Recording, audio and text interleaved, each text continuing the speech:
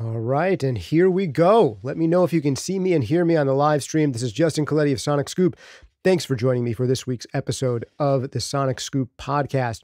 Good to have you with me today. We are going to go into what I think are the top 10 things that every studio needs to have. Not just the top 10 things, the top weird things that every studio needs to have. Because honestly, a lot of the things that your studio needs, you're going to think of already. I'm going to help you think of the things that you're not going to think of, the weird things that are going to save your butt. If you're on the producer side, and particularly if you're on the engineering side, one of your jobs is to like be a psychic. I want you to know before your clients know what they want. And one of the greatest ways to appear to be psychic is to remember to have some of the things on this list in your studio.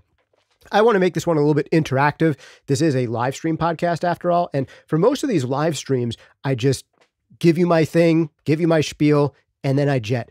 And then when you want to get really interactive with me, we do that in the members only side. So if you want access to the live Q&As that we do, and if you want access to the uh, mixed feedback sessions that we do in the members only section, consider hitting the join button right at the bottom of this video on YouTube or any other YouTube video on our channel. If you don't see that, it might be because you're on a iOS device. And uh, if you want to join, you can just go into the description and there'll be a link to join there. But today I want to make it a little more interactive because although I have my 10 things, I know you guys are going to have some things too. So go ahead and put them in the chat box either while we're going along or after I've gone through my top 10, and I'll read out some of your biggest ones that I may have missed as well. So let's get right into it. Uh, we're going to have some visual aids here for this episode. I'm going to bring up my screen so I can show you stuff. So I'll have some pretty stuff to look at. But of course, for those of you who are on the live, um, the audio only versions of this podcast, we will uh, describe this stuff in great detail for you if you're not familiar with it, because I know so many of you aren't actually on YouTube watching this.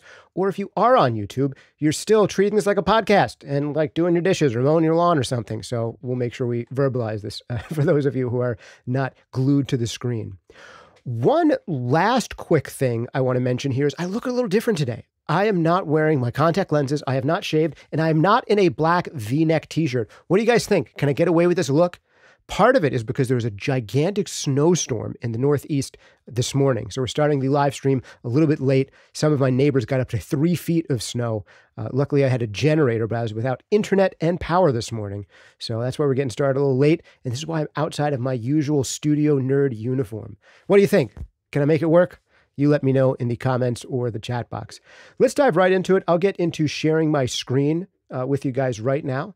Let me pull this over to my web sharing. And away we go.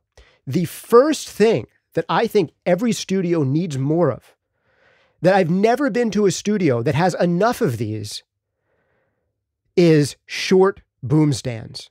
I have to bring this up because I've been to so many studios in my day. In the beginning of my career, when I was going from studio to studio, booking out studios as a producer, with bands, it was very rare that I'd wind up in a studio, even a really nice one, that had enough short boom stands.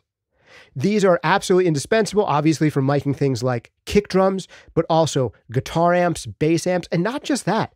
Sometimes there's going to be weird little devices, like small devices that you want to have on a tabletop, or sometimes there'll be certain types of hand drums that you want to mic from underneath.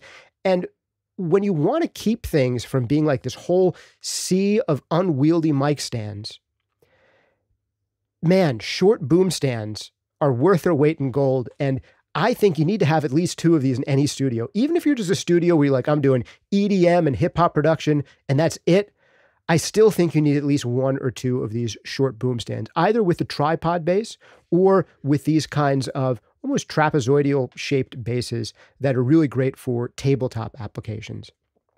It's one of those weird little things that you don't think is going to make your life better, but you spend another 30 or 40 bucks on having a couple more of these around the studio each, and it's just going to make some sessions go a lot more smoothly. So, this is the first little weird thing that I wanted to bring up that I think every studio needs to have. For some of you, if you're doing more kind of interview focused stuff, uh, one of the things that I really should have in my studio would be something like this. Why don't I have a desk mounted microphone boom arm in my own studio. Here I am using a regular big old mic stand to put this lovely Lauten LS208 microphone on. By the way, these are 50 bucks off right now this month, link in the description. But why do I have this huge mic stand here? For my specific application, a desk mounted one would be much better. And I'm going to like buy one immediately after this. It's been bugging me for a while. So these are the kinds of things that I want to bring up in this week's episode. But one of the major things that I think every studio needs to have is drumroll. Wait for it. Number two. Ah, I want to tell you. I want to tell you what someone else told me once about number two. My good friend Rick Slater. Maybe he's watching. He was a, a assistant engineer, I think, and an engineer for Shelly Yakus for a long time. Great guy. Kind of came up in the New York City studio scene. Old school New York style engineer. And one of the things he said to me early on that I remember had a big impact on me in my formative years as a young producer and engineer was Justin, it's not a studio without a lava lamp. Now, I'm not saying that you absolutely need to have a lava lamp in your studio, but those words of Justin, it's not a studio without a lava lamp has stuck with me to this day. And one of the things that I've recognized again and again in the best studios I've been in is that they take lighting somewhat seriously. Now, this actually reminds me of one of my favorite audio engineer jokes. Are you ready for it? How many audio engineers does it take to screw in a light bulb? Answer I don't know. I don't do lights. Eh? Eh? Did it work? It's an audio engineer joke. By the way, my favorite music related joke is how many hipsters does it take to screw in a light bulb? Really? You've never heard that one before? Come on, come on, that was a good one. Okay, so it's very hard to do uh, jokes in podcast style. You know, the, the timing doesn't always work when you don't have another person there, but hopefully these are working for you. So you don't necessarily need to have a lava lamp in your studio specifically. Probably the modern equivalent to the lava lamp is the Philips Hue bulb. I mean, there's so many different things you can do with lighting in the studio, but probably the stock choice I'm going to give for you is the Philips Hue bulb color changing light bulb. Why does this matter? Why am I harping on lighting for a while in an episode that's all about audio stuff? It's because it really does make a difference in vibe and the end experience of the end client. And these are the things that we often don't think about when we think about working in the studio. We think about what microphones we need, we think about maybe preamps and plugins. And we don't think about the things that sometimes have the biggest impact on the actual people that we're working with inside of the studio. And one of the things I've told the story once before on the podcast, but I'll tell it again. I'm sure not all of you have heard it. When I was assisting at a nice studio in New York City, one of these, at that time, $2,000 a day room, back when $2,000 used to mean something. And who came in but Jimmy Webb? If you don't know him, he's a, a songwriter, uh, wrote a bunch of big songs in the 1970s, Up, Up and Away in My Beautiful Balloon. Maybe you know that one. Did he also do uh, that one, Who Left the Cake Out in the Rain? Um, MacArthur Park, I think. He did a bunch of, you know, big songs, particularly in the 1970s. He came into the studio. This was by then the early 2000s, but he was still a, a big name. And he booked the studio just for like a listening session to listen down to some records in there, some songs I think that he had been working on um, in collaboration with someone else, and they were doing a listening session. He just actually came in by himself, and he was in this super bright studio environment, like this super clinical environment, and just something wasn't right about the whole vibe. And I just realized like the biggest thing that I could do for this client right now is dim the lights for him and get out of the way. So I dimmed the lights and left the room. And he looked up and around like he was a little dazed and surprised. But then his shoulders relaxed and his whole body relaxed. And after the listening session, he came up to me and thanked me and gave me a $100 tip, literally for turning down the lights. That's all that I did in the entire session. And I got a way bigger tip for that session as an assistant than I normally got for like when I did when I had to set up, you know, 25 microphones on drums and you know there was a 12 piece band coming in with horns and I did do all this stuff. Some of those back-breaking sessions, no tip. But this guy literally dimmed the lights for him and, you know, increased what, what I was earning uh, that day by 50% because I used the damn dimmer. So I hope that I'm able to get this idea through to you that lighting and just the general studio environment matters more than you think it does. And some of the things on today's list are going to be focused on studio environment because I'm giving you the top 10 weird things that your studio needs. Not just the top 10 things your studio needs. You already know that you need studio monitors. Maybe you know that you need speaker stands. Maybe you know that you need acoustic treatment and microphones and plugins and synthesizers. Fine, you've got that. But here are some of the things that studios, particularly new ones, don't invest in. But all of the best studios do invest in, and it makes a big difference. All right, now we're going to get on to item number three, where we are going to start to get into weird audio gear. And here I'm going to say that our entry is going to be weird noise making devices. This one I think is super important and right now, I've brought up what's called a stylophone, retro pocket synthesizer. We're going to have links to all of these down below. They will be affiliate links, so it's another great way to support the podcast. If anything in here is of interest to you and you want to click one of the affiliate links down below, we do earn a tiny bit of money for no additional uh, fee to you whatsoever.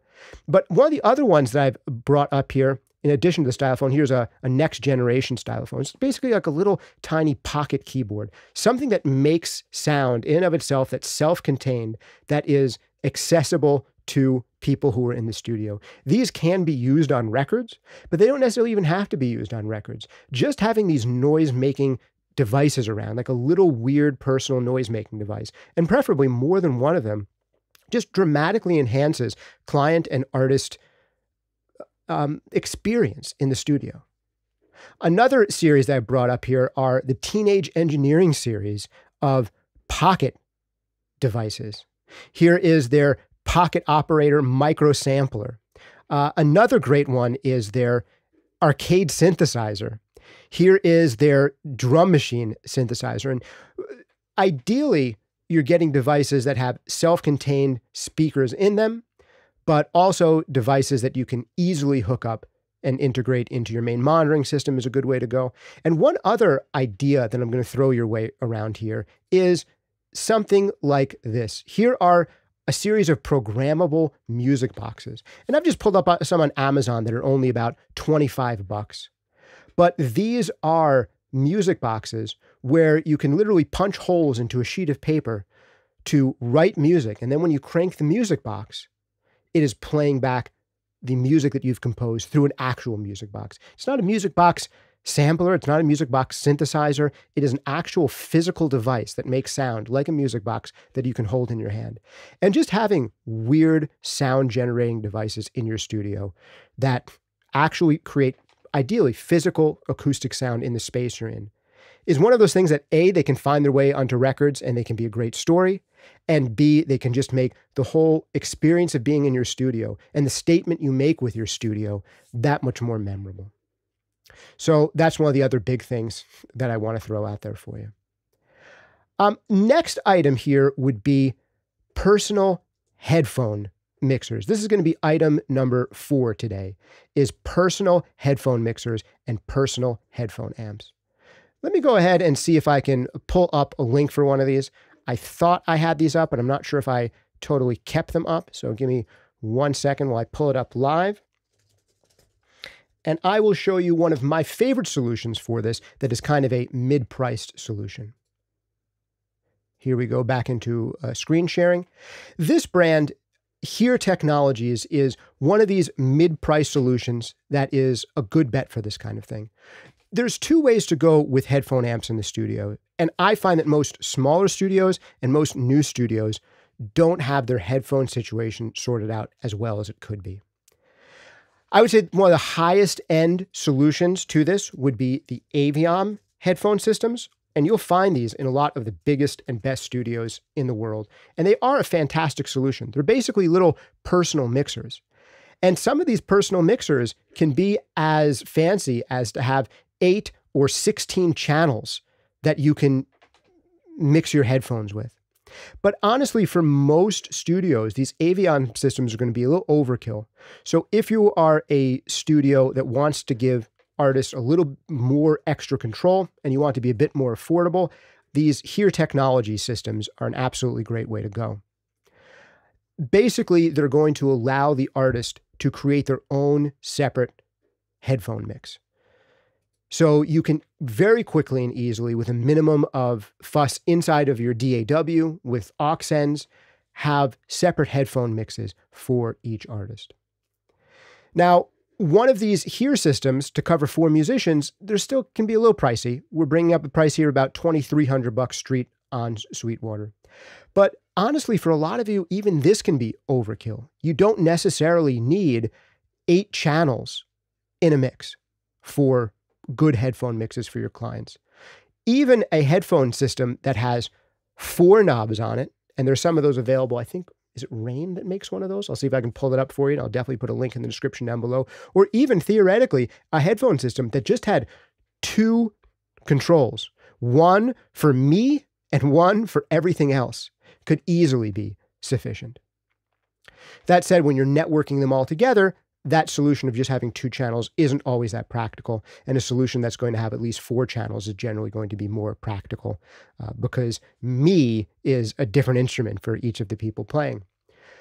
But even if you just have a singer there in the booth with you and they have a little bit of extra ability to turn up and down themselves, turn up and down their effects, and turn up and down the rest of the backing track, can be absolutely huge. Now, I do want to give you a word of caution and a word of warning about using these personal headphone mixing systems. Giving the artists and clients, musicians, a personal headphone system does not absolve you of the responsibility of doing some mixing on the headphone mix. It is honestly ideal for you to go in there and create the mix for them and just say, hey, if you need this up or down, it's over here. And sometimes go back like in between takes and just check what they're listening and see if it seems sensible to you. And if it doesn't, maybe mention to them, hey, are you liking your headphone mix? I noticed that the bass was like blaring like crazy. And then I've been like, yeah, I kind of did that by accident and was too embarrassed to ask how to turn it back down because he told me three times. So, using these headphone mixing systems is not to absolve you of responsibilities, to give additional control to collaborators, artists, clients in the studio with you, but you'll definitely want to check in on them and make sure that they're using them uh, in, in the best way that they can be used. Again, if you guys have your favorite solutions for these, go ahead and enter them into the chat or in the comments, and uh, I can uh, shout out your specific recommendations for each of these solutions. All right, next major item to look at here is oh, this one is good. This one's really good. And some of you are going to be super annoyed at me for bringing this one up. And it is similar to the vein of something like a lava lamp. A Keurig coffee maker. And not just a Keurig coffee maker, but complementary beverages. I'm assuming for most of these entries that you're not working by yourself in the studio and that you're inviting occasionally collaborators in or you're working with other artists as producer, engineer, working for them. I've got to say, every single nice high end studio I've been in has either complimentary beverages or Keurig machine, or in some rare cases, the studios are so big that maybe they have a vending machine and they're non complimentary. But honestly, in most big, nice studios, the beverages are free. This is one of these tiny things where you giving away $2 to the client can earn you hundreds of dollars in future bookings. When I first started working out of Joe Lambert Mastering, the mastering studio, it was the first studio that I worked in that instead of having a regular coffee machine, had one of these Keurig individual coffee makers.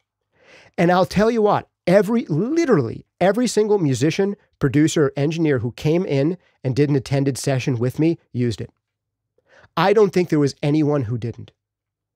I mean, back then it was probably still a tiny bit of a novelty. Maybe we're talking about I was probably doing my first records back there and I can't remember if it was 2011 or 2012. I'll have to look it up. But, you know, even 2013, 2014, 2015, it was still something that you didn't see everywhere. And everyone was like, oh, one of those. I'd love to use it. But even right before I built out my own studio and I was still doing sessions there as late as uh, 2017, 2018, you know, fairly regularly. Even then, every single client that came in for a attended session used the thing. And it just, I don't know, it made them light up a tiny bit. And it was one of those aspects of the studio experience that made them go like, yeah, this is a cool studio and it's it's actually worth my money to be here. I know I'm spending a lot to be here, but I got this free like $2 coffee out of it. I swear, it has a huge impact. Now, one of the additional benefits to these Keurig machines is they're just a lot easier to use than like making a full pot of coffee. And you can also get teas and things that go with them because another big reason is, is not just the experiential reason, but there's this real practical reason. If you're working with singers in your studio, if you're a singer in your studio and you're doing a lot of takes, warm water, tea, often in many cases non caffeinated tea, is something that's like essential even as a delivery system for things like honey and lemon, things that can make a full day of singing a lot easier. Having an easy warm water dispensing option in your studio is huge, where people don't have to go down the block to the deli or call Uber Eats. So, the, these types of single serving coffee machines, especially if you can equip them with tea as well, one of the big things that every studio needs to have. And if you have some cold beverages as well that you're just willing to f- freely hand out to your customers and clients, it just, it honestly makes a difference. And some of the time, these little things and having enough of these little things on point make a bigger difference than spending $1,000 more on your microphone. If you already have a $3,000 microphone, a $4,000 microphone usually isn't going to impress the clients more than literally just getting a coffee machine, some free beverages, and good lighting. And we're going to have some more elements like this on the list, but we're also going to have more practical ones and more fun audio studio ones. All right, next one on the list. But before I get into it, this is probably one of the most important audio engineering things that can save your sessions from going wrong. But before I give you, I think we're on number five right now. Before I give you number number five, which I think is one of the most important tools an audio engineer or music producer needs to have, this is the tool where if you have these, your sessions are going to go so much smoother and you're going to seem like an absolute mind reader. You are going to fix sessions that would have otherwise gone completely wrong. But before I reveal it to you, I just have to give the briefest of shout outs to our sponsors. Who are our sponsors on this week's episode? As always, the most important sponsor is you. How do you sponsor this podcast? Sponsor yourself. Check out one of our great full length courses like Mixing Breakthroughs, Mastering Demystified, or Compression Breakthroughs. They will change the way that you work forever for the better, guaranteed, or your money back. In addition, you could also become a member of this YouTube channel. And some of the benefits of membership include you can get access to live Q&A sessions with me where I give you real answers in real time to your questions. You can submit questions in advance as a member for these live Q&As and get guaranteed answers. And this month in March, we are doing one of our um, mix feedback sessions where we're going to take member mixes dive deep into them, listen to them, even in some cases compare them against some of their favorite commercial releases, and give really concrete ideas about what can be improved in those mixes. And if you want to be part of that, click the join button at the bottom of this video or go into the description if you don't see that join button and click where it says join to become a member. It's super cheap to become one, and I think it's one of the best values I've got going for you. And also, I want to give a quick shout out to Lauten Audio, they sent me this new microphone, the LS208, to try out. Ooh, let me see. High technology. I have the ability to show the ah, the text link to show up on your screen. Look at this. I'm getting to know how technology works. Lauten Audio, if you go to bit.ly Lauten 208 50 off, these mics are $50 off this month. This is basically a front address condenser microphone. Similar in profile to something like a Shure SM7B, but you could use it in so many more places than a Shure SM7B. I think it sounds better on my voice than the Shure SM7 that's over my shoulder there.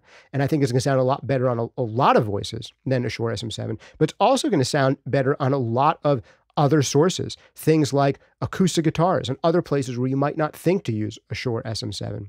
Condenser microphone like this one, I got to tell you, uh, I think it's uh, working really well on the podcast. Let me know what you think of it in the comments or in the uh, chat box over there. And if you want one for 50 bucks off this month only, bit.ly Lauten208 50 off. Alternately, if you want something that's totally free, GPU audio. If you go to gpu.audio slash sonic scoop, there is a whole bunch of free plugins there that run on the GPU in your computer. They're available for both Mac and PC. The PC development is a little ahead of the Mac development, so some of that stuff is uh, available even sooner. So I think on the PC version now, they have not only a convolution reverb, but they also have a modulation bundle and a time based effects bundle. So there's things like delays in there now as well. Definitely check them out gpu.audio slash sonic scoop. For a limited time, you can get free early access to this stuff. And last but not least, Soundtoys, making some of my favorite creative mixing effects in the known universe. Try out anything they make for free for 30 days over at soundtoys.com. This leads me to number, uh, actually, man, it's number six we're on already. And one last additional sponsor of this podcast is Hosa. And I got to bring up Hosa because I did a video for these guys not too long ago where it was about the weird adapters and cables that every studio needs to have. And there are a few types of cables and adapters. I'm just going to lump them all together. I have a whole video on this, but the long story short version of this is every single studio, in my opinion, needs a whole bunch of splitter cables, stereo breakout cables of basically every type. Eighth inch to dual quarter inch, uh, dual RCA to eighth inch, like every variation of stereo breakout you can get to, where you have a stereo often eighth inch or TRS cable to two other types of cables. Also, additional adapters that allow you to get audio out of an iPhone and then into the analog domain. On newer iPhones, you're going to need the kind of lightning adapter that's going to allow you to even use one of these stereo breakout cables. So these are absolutely essential. There are also devices you can use to stream Bluetooth. Mm, you can find those at Hosa Tech as well, you and uh, Kali Audio makes a nice one too. You can stream Bluetooth to your phone from your computer using just Bluetooth, and now we're hearing the output of our actual phone speaker. Or maybe you have a Bluetooth speaker system, something that allows you to get Bluetooth out of your computer and into some consumer devices that can be secondary references for you. I think those are absolutely essential. Also, some of the adapter cables that you're going to need XLR to TRS, TRS to XLR, microphone adapters like this one that go from high impedance to low impedance. These are, in my opinion, absolutely essential for any studio. If you have these types of cables, the gender changers, the type changers, things like XLR to TRS, TRS to XLR, and vice versa, Y cables, and splitter cables. If you have a variety of those, you're going to be in much better shape for all of your sessions. And there are literally sessions that would have to like stop, get bogged down in the middle of the day, or literally be things that you cannot do in your sessions just for the want of a $5 piece of metal and plastic. Because I want you to get a lot of these $5 pieces of metal and plastic, Hosa is an absolutely great place to do it because they have super duper affordable stuff. And they have this great cable finder that you can go to to find the exact types of cables and adapters you need more quickly, more easily. So big shout out and thanks to those guys for sponsoring the podcast. And if you want the long version of this, I have a whole video where I recommend specifically which of these cables and adapters you need. I'll try to link to that one in the description down below. All right. We're getting near the end of my picks, and then I want to go to your picks. Number seven for me is going to be one of these uh, another weird, annoying things that you're not going to want me to say. You're going to want me to say, Justin, when are you going to say microphone preamps? I'm not going to because number seven is a damn stool. I have been to too many studios, like cheap or new studios, that do not have a stool. And when I say a stool, I'm just talking about a damn bar stool, preferably not even one like this with a back. You should have a backless stool like this. Here we go. This wooden bar stool right here in the middle, even something this simple. If you have one that's a little bit more comfortable, maybe it has a cushy top, great. But this is so essential for people like guitarists, people like singers, even potentially people like keyboarders, people playing drum machines. A great thing to do to get great performances out of people in the studio is to make sure that they're standing up and not sitting down. But to be honest, standing all day gets really old. Just being able to bend your knees by like five inches and put your butt down on something without sinking all the way down into a chair is absolutely huge. So, number seven is you need a decent stool in your studio, preferably more than one of them. Now, number eight is going to be equally as simple and annoying, but I've been to too many studios that don't have enough of these. And they are music stands, and preferably music stands with lights. Now, there's so many different types of music stands you can go with, but I'm generally going to recommend the type that has a solid back of some kind. And this is in part because it makes it so much easier to clip things like lights onto them. That's number one. And number two, it makes it so much easier and more robust to put on things like iPads and phones. These are things that a lot of people are reading lyrics off of today. Even if you're just in a studio where literally no one can read music and you're dealing with nothing but rappers and singers who are doing everything from memory, still having the phone for the notes easily accessible on a music stand, super essential. And sometimes it makes sense to write things down on the spot in paper with pencil, with pen, and having paper and pen and a light for these music stands super essential. So you can dim down the lights, but cast a little bit of extra light just on the music stand. How many of these do you need in a studio? You might say to yourself, oh, I'm only ever really going to work with one singer. But is that true? I don't know. If you were on like a one singer kind of studio, then I think you still need probably at least two of these. But for a studio that's going to record full bands, things like that, it's hard to have too many. And something like having at least three, maybe a half dozen, I think is going to help you out significantly in the studio. And it's something that a lot of smaller studios forget to get until they run into the problem where they didn't have them. All right. Number nine, no visual aid for this one. And this is one where it's like, do as I say, not as I do. Because number nine is a good couch.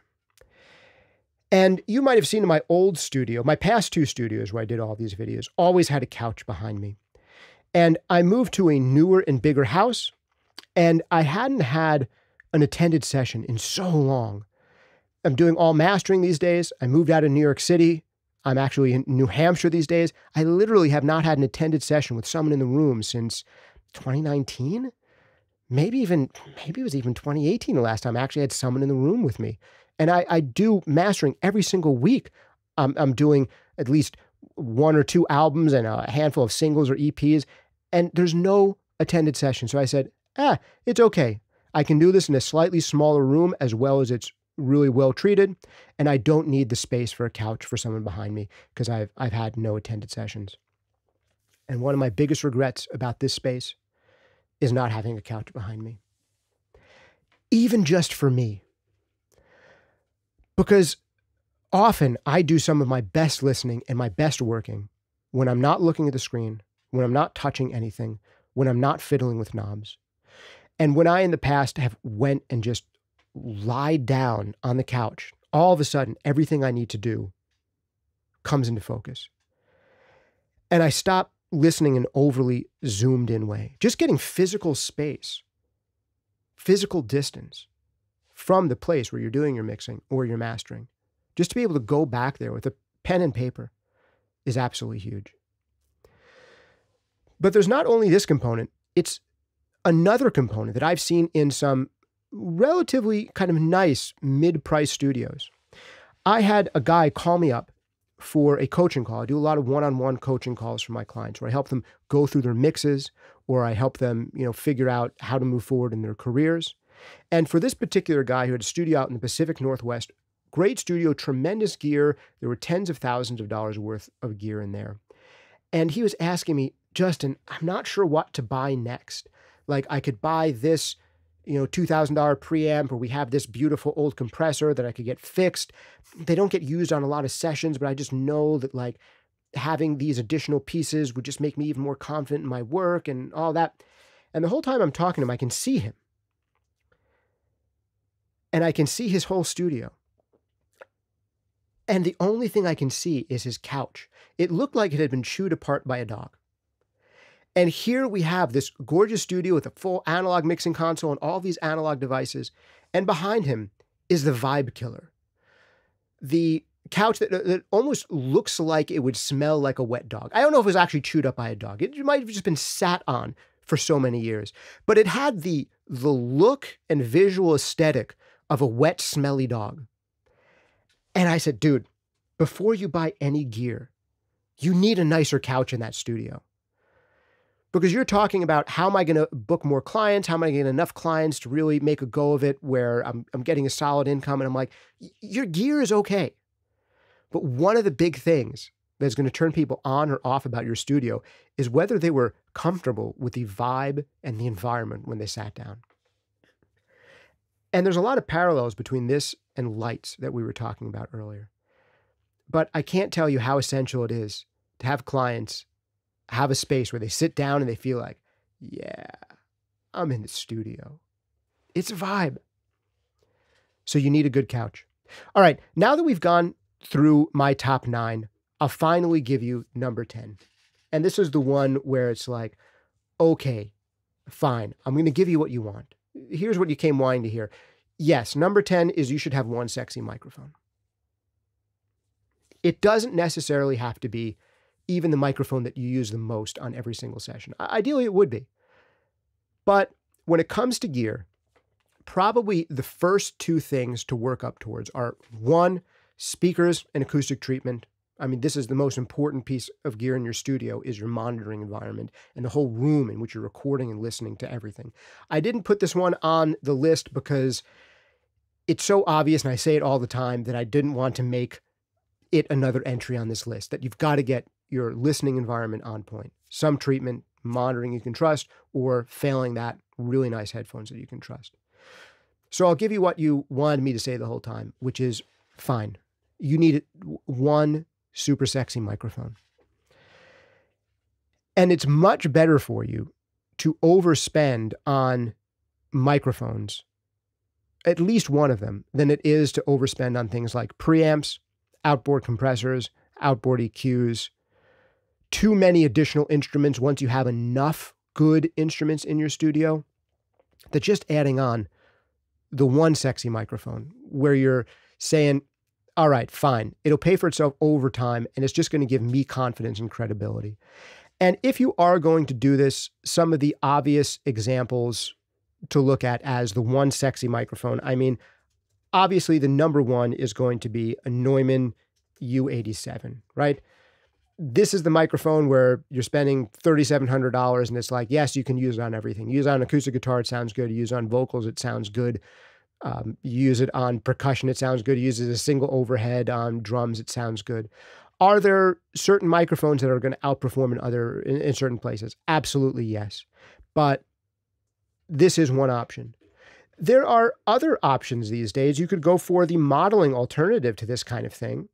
And this might be sufficient for you. Something like the Sphere microphone systems that only cost something like 1200 to 1500 bucks could be a suitable alternative to the one nice high end analog microphone.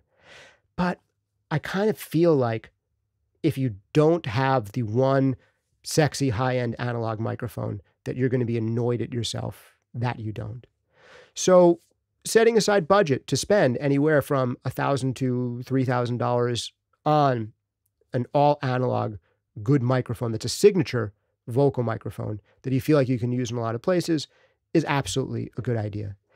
And as much as I want to advocate that it's maybe even better to have a variety of cheap microphones, because honestly, on a lot of singers, the Shure SM7 or the Shure SM58 is going to sound better at something like 100 bucks than a $4,000 microphone. Singers like Bjork, Bono, uh, there's so many people sing through SM58 in the studio, and that's their studio vocal sound.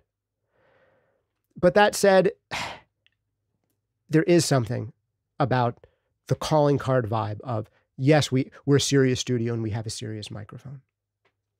Everything else on this list was literally in the couple hundred dollars range or less. And this is the one thing that isn't. If you really want me to give you permission to buy more high end audio gear, I'll give you 11 because all of my list of 10 go to 11. And I'll say, okay, fine, get one really good channel strip. And by channel strip, I mean something that has preamp, compressor, and EQ built in. I mean, one of the classic uh, combinations with a uh, something like a U87 would be the Avalon 737, another $3,800 unit. And like for the longest time, you go into a studio, especially with like hip hop or R and B sessions, and like they have the U87 and the Avalon. That's how you knew it was serious and we're in good shape, and you're gonna have a vocal sound you can trust. You can get great vocal sounds with gear that is way less expensive than these. And I'm not saying that for you and the stuff that you're doing, that the Avalon and Neumann U87 combination is the thing that makes sense. It's just such a almost cliched option for certain genres that it just came to mind. But having the one nice high end microphone and the one nice high end channel strip allows you to get away in so many other places with having gear that doesn't necessarily have the name recognition, doesn't necessarily have to be the most super expensive. But when you have your bases covered there, and you're like, yes, I do have this super high end microphone, but I don't know. On you, even though it's not our most expensive microphone, this is the one that I think is going to sound best. All of a sudden, your recommendation that the $500 microphone is going to sound just fine on them, or the $100 microphone is going to sound just fine on them, seems more credible. So that's something to work for, uh, work towards, is the one high end microphone, the one high end channel strip. Well, that's all that I've got for my top 10 things, that, weird things that every studio needs to have. Let's see if you guys put in some of your own recommendations. I'm going to go ahead and read from our members first. We've got a whole bunch of people here Music 7 Studios, Benj, uh, Ant Man Felix, a whole bunch of our uh, regular members came here, so I'll go ahead and read out uh, their recommendations first. If you want to put a super chat in there and you're not a member, that'll make me see it immediately. But I'll see if I can go through uh, a few of the comments that came in from uh, our viewers and members here. Skeleton Pete says, Black light, I think my black light posters are still in my basement. Hey, that's a good alternative to the lava lamp. Um, Skeleton Pete says the Beatles were playing with a stylophone in the Get Back documentary, and that part, that thing is a hoot. Ben says placebo faders are a good thing to have in the studio. Worth labeling one of them as lead vocal. That's a good one. Uh, let's see if we get uh, any more here from uh, any more recommendations. Music 7 Studio says get a bagless vacuum with a HEPA filter and a built in feather duster that the vacuum cleans, essential for electronics that pick up dust. Eureka Studios has one. Yeah, these are the, the kinds of things that we, we don't think of when we think of recording studio that can make your life easier. He says they aren't terribly expensive now, but I bought a display model of a vacuum that I had for years at discount because it was all that they had left in stock. Um, this is beautiful. This is even nerdier and weirder and more esoteric than my suggestion. So uh, feel free to throw your own stuff in there. Um, a lot of people are definitely getting into the idea of vibe here and how important it is. Uh, ben says uh, a trackball. That's actually a huge thing. Man, for those of you who spend a lot of time mousing around, I will add to this. I've recently switched to a vertical mouse. I tried trackballs. I used trackballs for years in uh, older studios, but I don't know. I still felt wrist pain with them. The best thing for me so far has been this vertical style of mouse, which changes my hand position and has dramatically cut down on things like elbow and wrist pain. So for those of you who are mousing around like crazy and have trouble getting acclimated to a trackball mouse, I'll totally recommend this style of vertical mouse. Let's see if there's any more live questions that have come in. Music 7 Studio says, serious question, but how about a rug? That's actually not a bad idea. I have a rug beneath me, and I found that it helped pretty significantly with early reflections on my voice. I have tons of acoustic treatment here. I have acoustic treatment above me overhead right now, but just adding in a rug in this room really helped control some of the early reflections. It depends on what you're going for.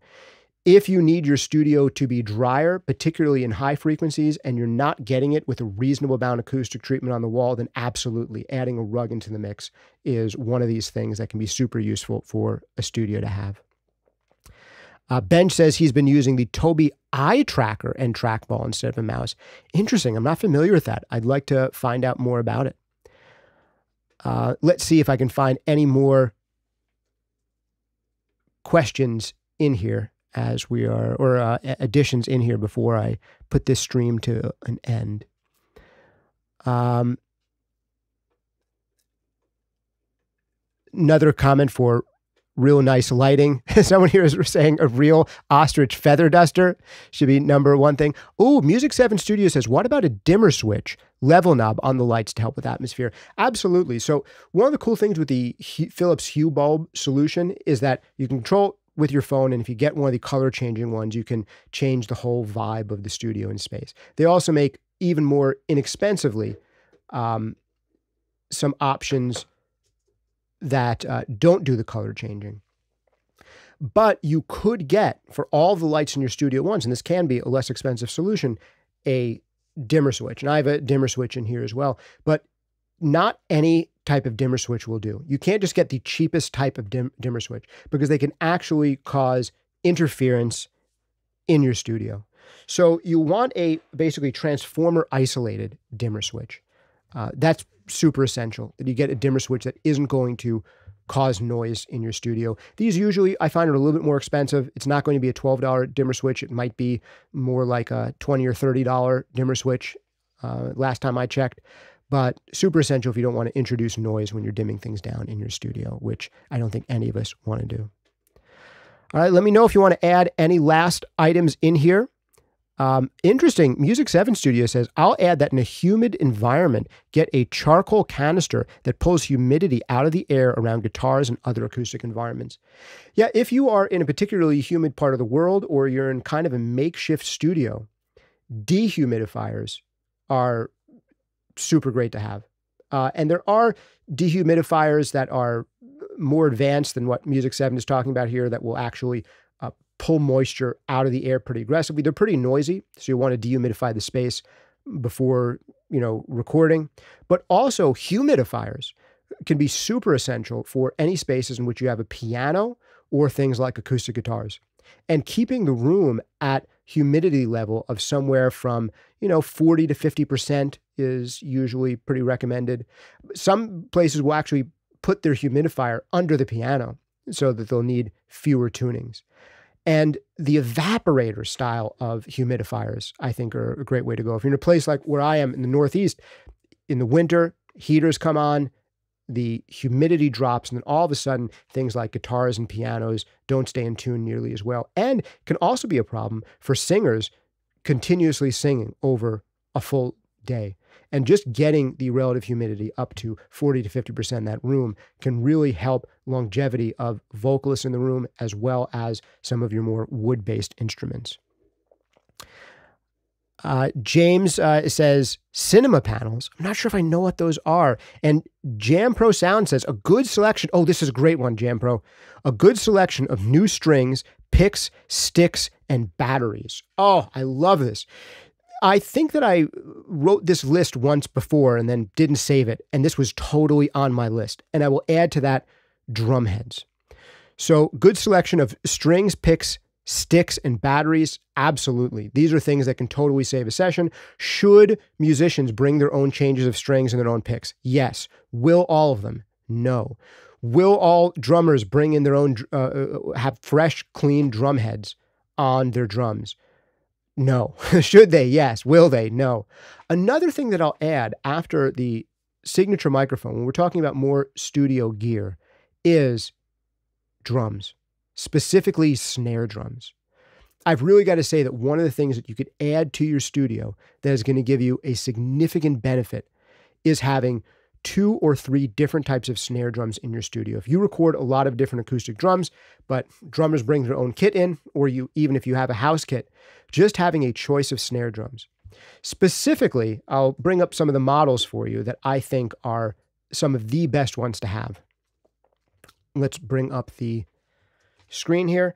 I've got to say, the Ludwig Supraphonic is one of those snare drums that you have heard on so many records that it just instantly sounds like a snare drum. And this was one of my favorite purchases that I ever made when I was doing more producing and recording. I would travel from session to session with a whole bunch of, you know, my mic preamps and some of my compressors and a whole bunch of microphones and extra stands and cables. Like I had a whole rig with me. And the sexiest, most important things in that rig, right, were things like my preamp and my outboard hardware and my microphones. But honestly, the thing that helped my drum sounds more than any of that was having a awesomely tuned Ludwig Supraphonic in a case that I could just plop down. And it's one of those things where you put a well-tuned Ludwig Supraphonic onto a snare sound, a snare stand, and it just sounds like a drum's supposed to sound. And you're like, oh, we got it. Like, we're done now. Like, did you did you change the mic? No, I changed the drum. And it's one that I tuned in advance of the session. Man, so useful. An alternative to the uh, Ludwig Supraphonic that is even more relative, I think, for harder rock stuff would be a Ludwig Black Beauty, which has a lot in common with the Supraphonic, but maybe you could say it has a bit more of an aggressive sound and a slightly more modern sound. Maybe there's a little bit more bite in the uh, Black Beauty compared to the Supraphonic. Well, I think the Supraphonic is being a little bit crisp but mushy. The the Black Beauty has this kind of uh, a little bit of bite and aggression. It's one of the probably most recorded hard rock drums of all time. Also, having some type of maple shelled drum is just an additional tone that you can add, add, into there. But if you don't want to have a collection of a dozen drums, like would be uh, my ideal is to have like a dozen snare drums in my studio. If that wasn't going to be the case and you just wanted to have a few of them, then maybe you're getting one of these two uh, metal shell drums, either a Supraphonic or a Black Beauty, depending on what types of music you record more often. And then maybe for your wooden drum, you're getting one that is a slightly different or slightly odder size, that maybe you're getting more of a piccolo snare drum, or you're getting a snare drum that is, you know, deep but um, uh, but smaller in circumference, so it's higher pitched. So those are some things to think about is snare drums. And then if we're going to go down this path of more sound generating devices, the weird things you should have in your studio that make a big difference and sometimes bigger than things like your microphones, your preamps, your compressors, etc., would be guitar amps.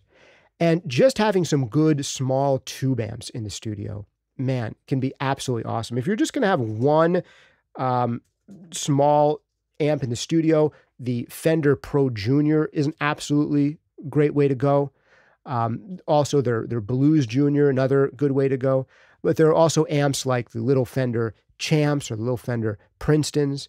And there's a whole bunch of other brands that make small tube amps. Some of the small Mesa Boogies, the small orange amplifiers.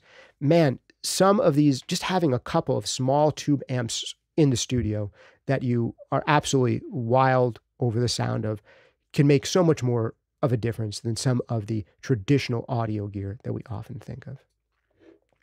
And with that, I'll give it one last quick look in the live chat here for uh, additional recommendations, and then we will uh, move on to ending this one.